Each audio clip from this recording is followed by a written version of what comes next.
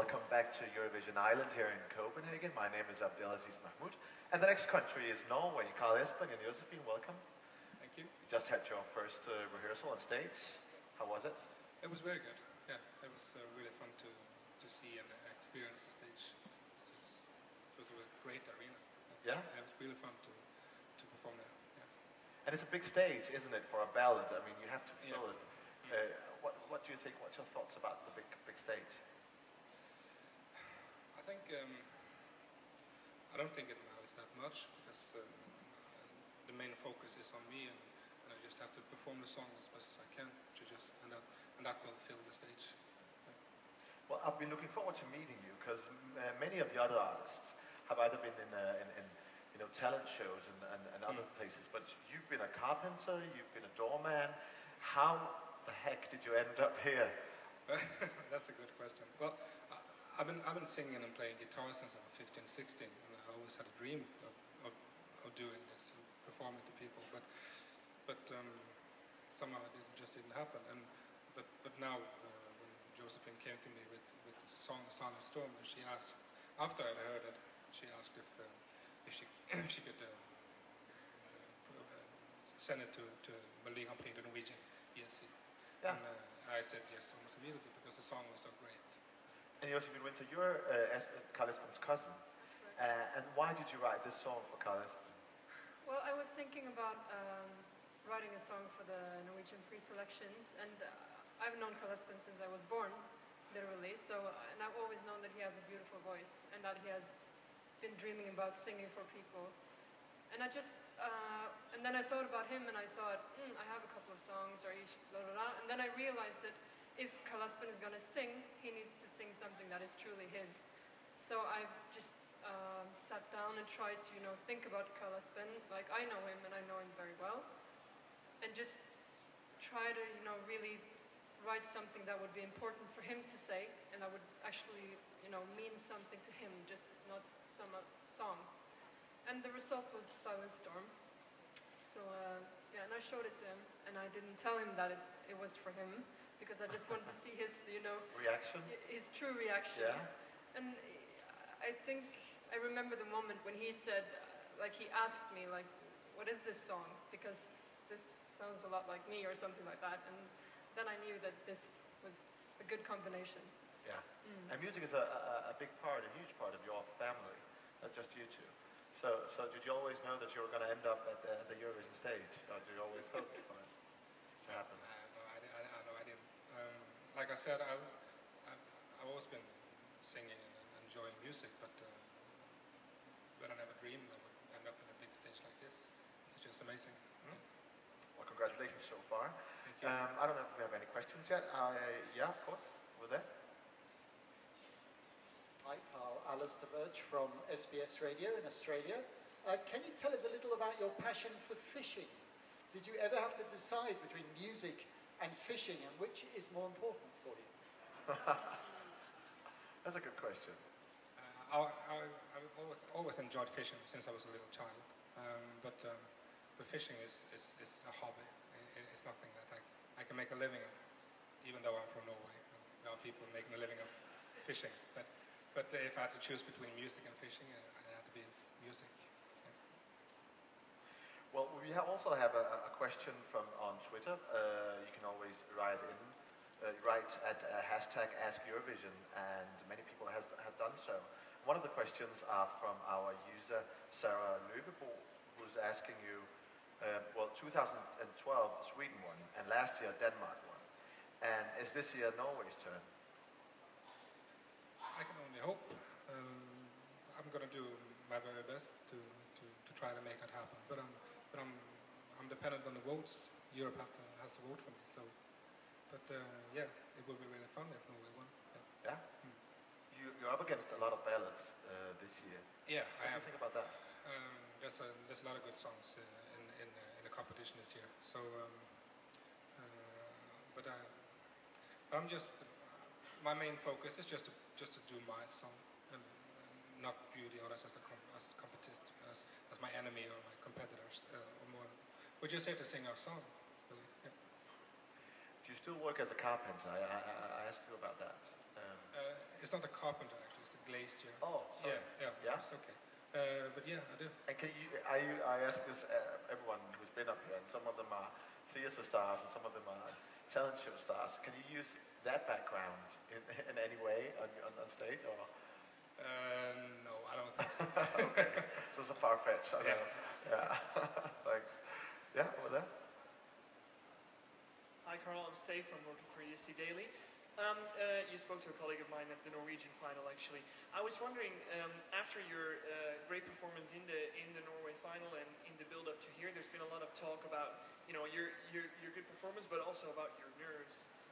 How much is it frightening you now that you've, I mean, you've seen the, the, the real stage, the big one, and you've seen the arena. Is it frightening you? How do you think about that? Uh, today it wasn't frightening. Today it was just fun. But um, for sure, there's going to be a, a lot of pressure on me and a, lot, a bit more tension when, uh, when the whole arena is full of, full of people. But um, but that's one of the things that we've been focusing on, uh, and just trying to keep uh, keep keep my calm and try not to get nervous and not to think so much about it, and just focus on what I'm supposed to do. What is it that, that terrifies you? Is it, is it that the audience, or is it the cameras and the choreography, or what is it that, that's difficult for you, or a challenge for you? I don't. I don't. I think it's a, it's a, maybe it's a little bit of combination, but but most of all, I don't want to.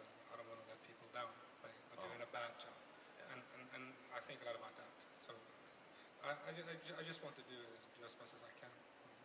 Well, I guess you know you made it this far, right? And people love you in Norway, I guess. Yeah. Yeah. Yeah, that's, Cool. that's a huge comfort. Yeah? Any questions left? Well, I'd like to talk to you about um, now. Uh, for example, Norway has come in last, uh, no less than 11 times. Um, not to make you more nervous about this, just talked about your nerves, but still, do you think about what, like, um, that, that you're representing a country as well, or do you just think about your song and that your cousin wrote this, and like, what goes your, uh, in your mind? I think about it a lot, uh, a lot of it that I'm actually rep- representing my country now. So Have to step up my game even further than I did in, in Oslo.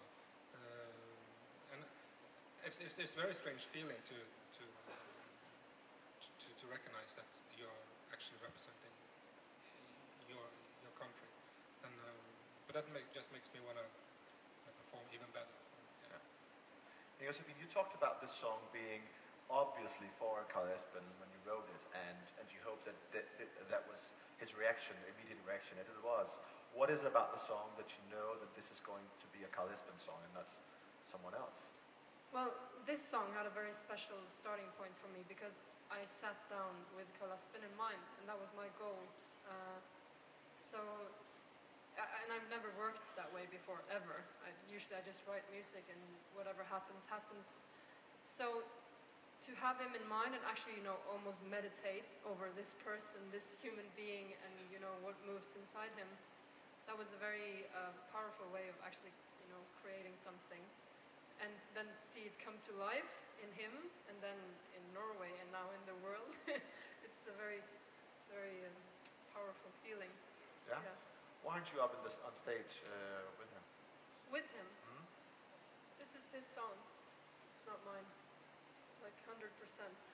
And I think, uh, well, I've always I already cried a couple of times on TV now, so you've seen what it does to me to see it uh, performed by him. And uh, to me, it's, it was never a question of being on stage with that song because this is his.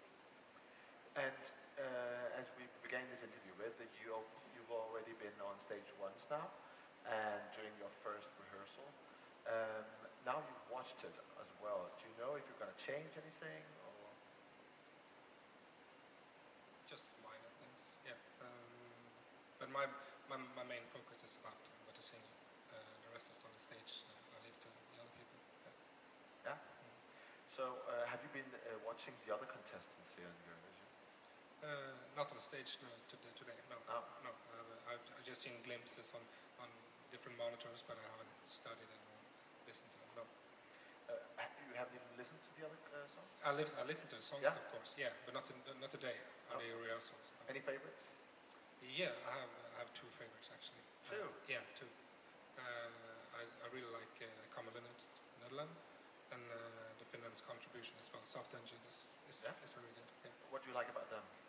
Um, well, the Common Linnets is a, is, it, it's a very good country ballad. It, it's just, uh, it's, it's very well written and very well performed. And sometimes when you hear a good song, you don't have to, it's hard to put your finger on it, Yeah. but you know that it's, it's good. And they're in the same semifinal, semi-final as as you are. Yeah, yeah. That's bad. but that's 10 of us. so, cool. Thank you so much. Um, I think we have uh, one question over there. Behind you. No, you, sir. Hello, Carl. I'm Robin from ESCtoday.com, and I first met Carl the night before Melodi Grand Prix. And you've got you've got more pressure on you now than you had then, and you seem more calm and collected. Have you found the trick? Maybe I'm just getting used to this a little bit. but um, before the Norwegian finals, um, uh, everything was new. Uh, now, now I've been talking to the press for, for over a month, and so I'm starting to get used to it. Um, I'm starting to calm down.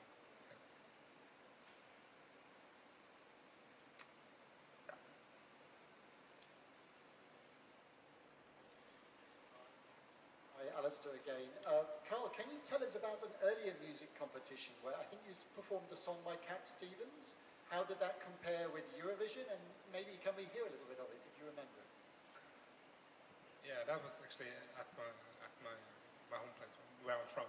Uh, every year they had this they have this um, this singing competition, um, and um, I entered uh, as a 17 year old boy with uh, Cat Stevens Wild World, uh, and. Uh, I won the entire competition. Uh, that was a real fun experience for me. And, um, um, but um, do you want to you want me to sing a little bit of Wild World?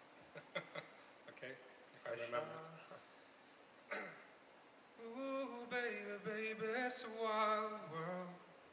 It's hard to get by just upon a smile, girl. Or something like that. Cool. Thank you so much. Carsten, I wish you good luck to Eurovision in the second semi-final. I'm sure you'll do well. Thank you so much for joining us. And thank you for joining us. Remember, you can ask all the questions you want to. Just remember to has- hashtag Ask Eurovision. Thank you and see you in a bit.